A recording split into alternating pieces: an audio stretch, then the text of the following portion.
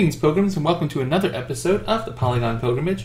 And today, I wanted to show you a really neat feature of Maya LT here. It might be of Maya in general, but I'm using Maya LT that will allow us to rapidly prototype an asset from here into Unity. Now, it also has the ability to export directly from Maya into Unreal. However, the process is not quite as smooth. But I'm going to show you both today, and just to give you a heads up as to how it works in both engines, I'm becoming sort of a 50-50 guy with my work currently using both Unity and using Unreal. So let's get started with Unity to begin with. So typically to import an asset, if I bring up Unity here, I would have to right click, say import new asset, or I could drag an asset into the scene, or I can go file, import, you know, there's all kinds of different ways. But working directly inside of Maya here, if I select my book asset here, so I'm going to select this guy here, and I can go here and say File, Send to Unity. Now, it also gives me the ability to set my Unity project, which means it will remember the project, and then I just have to tell it where within the project from there. Let's go ahead and do that. I'm going to set my Unity project. So I'm going to say My Computer. Let's go to the D drive, and we are under the Polygon Pilgrimage folder in this thing called Asset Testing. So I'm going to say Select. So there, now I've set my Unity project. Now, when I go File, Send to Unity, Selection, it goes right to that folder, and I'm in the Asset Tests folder just beneath it. And I'm going to call this Book. Now, I can set my options here. The only one I recommend is set your smoothing groups. Make sure that comes in. Everything else should be fine. And I'm going to say Export Selection. And voila, we're done. So let's pop over to Unity, bring that up there, and here it is, Book. There he is, looking nice and spiffy. Let's go ahead and drag him and drop him into the world. And he has to go at 0 0.50. There we go, because I have a ground plane here. So here's my book in the world, and you'll notice that when I select the book and expand it, it's a two-part object. So the whole thing is called book, and then it has two child objects, book cover and book pages. So I can apply a separate material to both and it looks really nice in the world here, but now let's say I wanted to make a change. Say, okay, we're working on the game and I say I want to make this larger, you know, more space between the edges of the page here and the cover. So if you if you noticed back in Maya here, I have a secondary book here which has an extended space there. Maybe we need some UI, maybe we want the character to put their fingers there, something. So assume this was the same book and we just edit it. The reason I have two is just so that you know we don't overwrite that.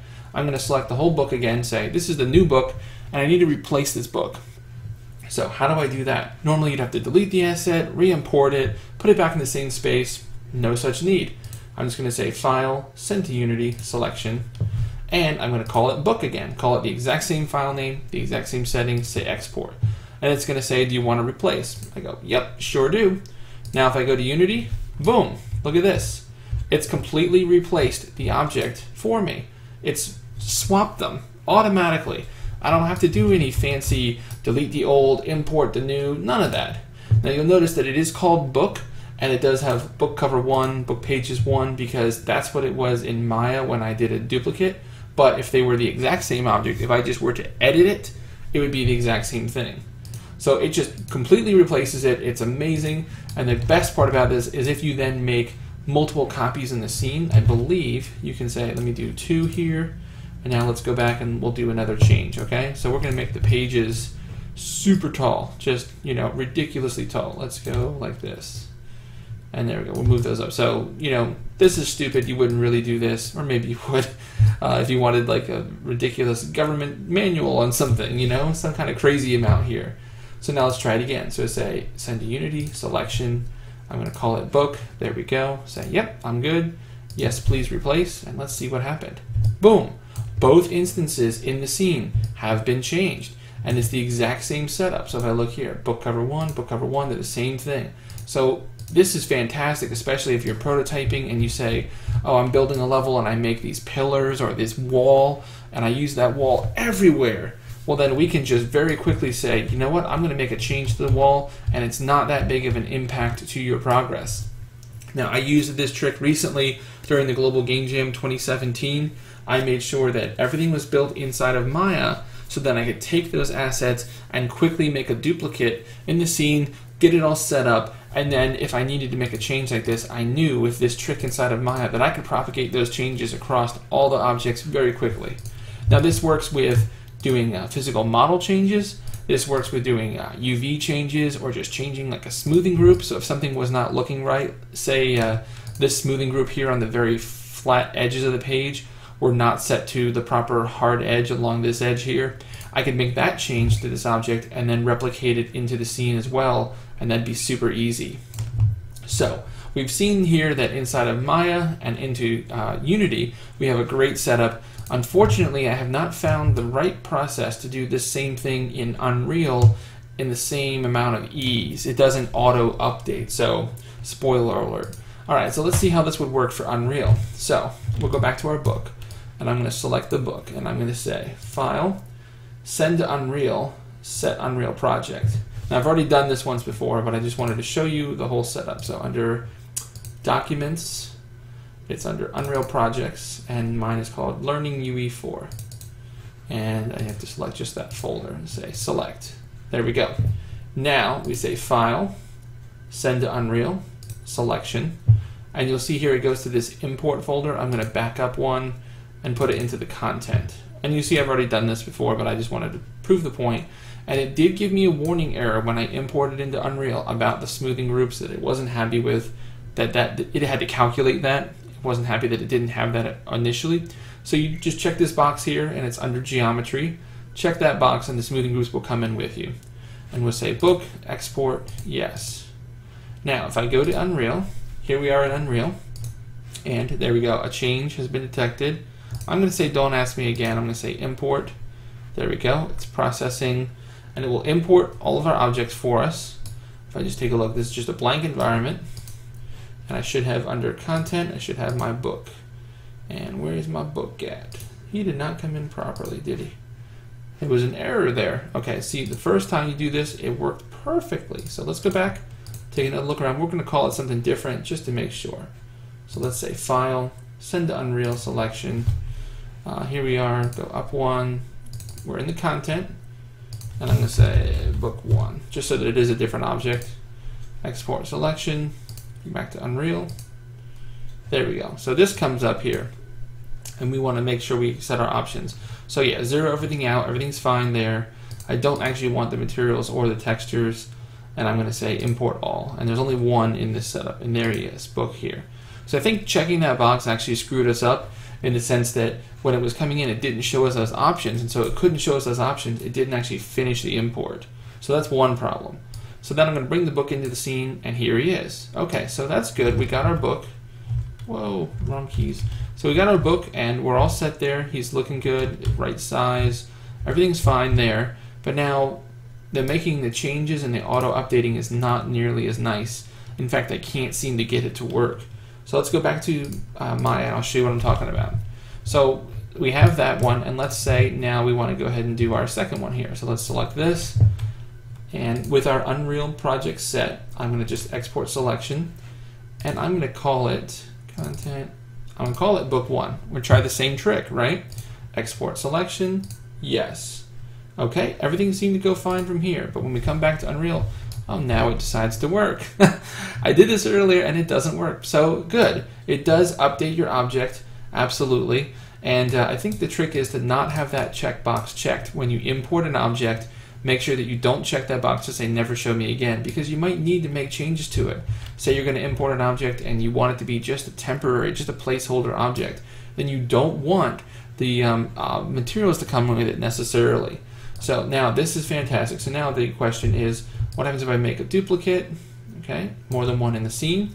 And let's go back and let's experiment. So we're back with our gigantic pages here, and let's say we'll make them cartoonishly small this way, okay? So now let's export this. File, uh, send to Unreal, selection, up one, content, and book one. Yeah, we're making changes to our book one replace. Okay, let's go back to Unreal and see what happens.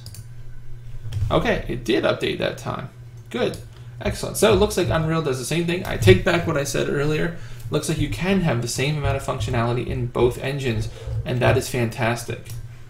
All right, so now that we've proven that we have this functionality in both engines, I want to show you a quick example of the true power of this. And just for simplicity's sake, we're going to stick with uh, Unity for the uh, example here, although I do favor Unreal in general for building these days. So let's go ahead and get rid of our books. We're going to get rid of those. There we go. So as I mentioned, this is really powerful for making like a modular world kit and then quickly updating it. So let's go ahead and build one of those. So I'm going to jump back over to the scene here, and we're going to do a little bit of building, just very quickly. So I'm going to make a plane, bring that over here. Let's uh, delete the books for now. There we go, we'll focus on the plane. And for this plane, I just want it to be one by one, and I need the tessellation, is that it? No, where's my option? There they are. So we're just going to do one by one, and it's a one by one already. And so let's check, make sure we check, always check your uh, your settings. Make sure you're not working with uh, strange settings. Uh, let's go settings here. So we are in centimeters. I'm going to change this to meters. So that way it will update to Unity. So you can see here we're at 0.01 now. So yeah, let's definitely make that one by one. Okay, so this is a one by one. So this is our floor, right? Now, if I take this and I'm going to make a duplicate, Control D, move this over here. Thank you. rotate you and rotate you 90 degrees. Very good. Move you up. So the one nice thing about uh, Unity, I'm sorry, with about Maya here about making modular kits is the uh, the D key here is your friend. I can snap things to corners and then I can just snap things over here. There we go. So I can make sure that my modular kit works out very nicely indeed. So let's take this and I'm going to, did I have one on here? I don't have one on here. Modify, center pivot. I need to make one of those. There we go. So that's going to be my pivot for that guy. Now, this is the wall. So let's go ahead and uh, we will automatically unwrap this guy and I will show you uh, how the how the power of this works. So there we go. Nice texture there if we wanted to have a full one by one tile texture in there. Good. So our wall, let's call that complete, all right? So I do have to name it because I hate not naming things. There we go. So wall, okay, it's a good name for a wall. and we already have our uh, Unity project set. So I'm going to say export selection. And you'll see here it puts me right there. So I can have both the Unity and the Unreal project set up at the same, same time. So I can go to two different projects. So if you wanted to create, say, a, a whole game or a whole scene in both engines simultaneously, this is a great tool to do that. So this is a fantastic setup here. All right, so let's just call this wall, and we will say export selected. There we go. Let's jump over to Unity. All right, so I have my wall. So I'm gonna bring my wall in, and there he is. Now, his pivot is in the center there, so obviously if I go zero, I have to go one, zero. There you go, he's centered. So let's move him back a bit. There we go. So there's our wall. And I'm gonna make a couple duplicates. Duplicate, duplicate. So there we go. So there's a couple of walls. And in Unity, if you hold down the V key, we can do this snapping together. So you see how quickly it is to make a wall setup here and a modular kit, especially in Unity and with Unreal, the snapping is to die for. So you can just snap things together all day long and you're all set here. So let's make, we're gonna make a corner piece as well, but I'm gonna make these, uh, set them up so that we have that. So let's rotate, uh, and over here I'll just pump in 90. There we go. Now they don't all go together. I know there's a button for that, but I can't remember off the top of my head, but it's okay. We'll snap them all back together. And we'll put all those like that. So we're making room for a corner piece there, okay? So this is what we're gonna create here. And we have our floor kit as well, so I'm gonna go ahead and delete this because we have a floor piece as well. So let's go back here and with our floor piece selected, here he is. Let's call him floor, you guessed it. And again, we'll automatically unwrap. This is just force a habit. I just like to check it. There we go, he's all set. And we will export this piece. And I'm going a little fast because I do want to show you just how quickly iterating through all this is, especially if you spell correctly. There we go. So export the floor. He's all set. Bring a floor piece in. There we go. And why are you all crazy over there? There we go. Okay, so we'll bring this guy over here. And I'm going to snap him to there. There we go. Duplicate, duplicate. Now here's a neat trick. This is one of the things that I do all the time, and somebody recently was amazed. I don't understand why. But if I wanted to fill out this space, don't duplicate one at a time. You duplicate whole sections at a time. So I'll duplicate all of that, and then I'll snap all of that together. And now I'll duplicate all of this, and move all these together. There you go. So you have a, a floor very quickly. Now that our floor is in place, we know where these are going to go. Let's snap that together. Now we have our corner there, so we'll delete one wall. There we go. So we got a corner piece, and we got our walls and our floors. Okay? Very quick and easy so far. And we should do some organization here because this is getting a little crazy, but in general, you would keep up with that. This is just for example purposes. So now comes the point, let's make our, uh, we gotta make our corner piece still. All right, corner piece. So we'll duplicate you. Oops. Duplicate you, come on. Not liking duplicate, there we go, duplicate. Thank you. I knew that was the right key. We go, duplicate you. And what I like to do here with the corner piece is we can go into our modeling toolkit, take our vertices, take these guys, and you can subset our vertex there, which is awesome. And now I'll take that guy and move them all over there. There we go. So this is one piece here and this is a piece here, but together they're going to be our corner. So let's drop out of that channel box. There we go. So together they're going to be that. Now I will move our pivot to the corner and file export and done. Unity selection corner. Okay. We're getting there. Now we pop back over to Unity. Our corner piece is ready. Let's bring him in. There he is. Needs to be rotated a little bit. Uh, negative 90. Oops, negative 90. Negative. What I typed. I always like to rotate it a little bit, and then what I'll do is I'll see which way it's going, and I just finish it off numerically. All right, so we have our world here, but it's kind of plain, and I want to make drastic changes to it. This is where the power of this kit comes into play. So let's move you along over there. So say for our floors, say we really wanted to make some drastic changes, and okay, we decided we do want to have some actual modeled detail into our floors. Let's go ahead and do a connect, and I'm just going to do one for right now and then I'm going to do one this way as well. Connect. There we go. Now with my uh, faces selected, if I do this correctly, should be able to bevel and I want to keep them relatively small at first. So let's do something like that. But I want it to remain, no, center edge. No, I don't think so. that's fine. That's fine. Just like that. Okay, cool. So we got some detail to it, right? Now we're going to select these, and now we'll extrude upwards just a little bit.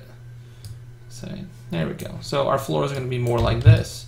So as we've seen with our rapid prototyping, this is a really easy change, and it's not a big problem. You'd have to do a little bit of re-UVing and all that, make sure your textures work. But assuming that's all done, we just say send to Unity, selection, these are our floors. Please update my floors. Say, okay, cool. Let's go back and check it out. And all of our floors instantly update. Nice and easy, no problems, and they're all connected. You can see there. Seamless. Really nice setup there. So let's do the walls really quickly. You get the idea, but just to kind of drive the point home, let's do uh, edges here. And here's one of my favorites is we'll do select these edges and I want to do a connect but I want two segments and I believe it's a pinch uh, 0.5 uh, why did it not take my two segments? There we go. 0.75 uh, something like this. I don't know why it would be over one. That's that always confuses me. Why would it be over one? There we go. That's more like what I was looking for so we'll take that, and then here, if I take my pieces here, and I like to extrude and make a little bit of like a molding. So we'll bring those out like that. There we go. You see how fast I can just sort of play with it. You don't have to have a solid idea in mind at first. You want to block it out. You want to get a general feel for proportion and say, that seems pretty good to me. So then I'll say File, Send to Unity, Selection. Let's update our walls. Okay. Cool. And now, oh no, go back to Unity. There we go. Now they got off a bit, and I'm wondering why exactly. Was it because the pivot changed? I bet it was because the pivot changed. Yeah, the pivot changed. Okay. But we can easily fix that. That's not a big deal. The important part is our detail has come through seamlessly. We got some nice detail in these walls here, and they're easy to set back to their original pivots. It's not a problem, especially since we're working with one meter sections, and they're all based upon the grid. So that's no problem at all. But we've quickly added detail to every piece in the scene without having to remodel anything and without having to, you know, re, uh, re-import rather. We, we did a little extra modeling. We remodeled a little bit. No pun intended, remodeled the room. But uh, what we've done is we've done a little bit of extra work in Maya, and then it propagates that those changes to every object in the scene. We updated all of these objects here without having to touch each one and re-import them and reposition them in the world a little bit because our pivot changed. But we've done all of this work sort of automatically. And so this is a great tool. I really recommend you guys take a look at it. Uh, the send to Unity, send to Unreal, and it's nice to know that it does work for both pieces of software so we could easily replicate this in Unreal as well. So that's all I have for you guys this week. I've uh, blabbered at you enough, but I hope that this is helpful to you. And uh, if you have other other tools like this or other little quick tips to do rapid prototyping, let's let's talk about that. So send those questions in, send those comments. Let's keep the conversation going and inform all of our fellow artists, all of our fellow pilgrims out there who are um, journeying towards becoming a better artist. That's what we're all about. You'll hear me say it a lot because it's true. And as always, guys Keep practicing, get better, and I'll see you next time as the pilgrimage continues.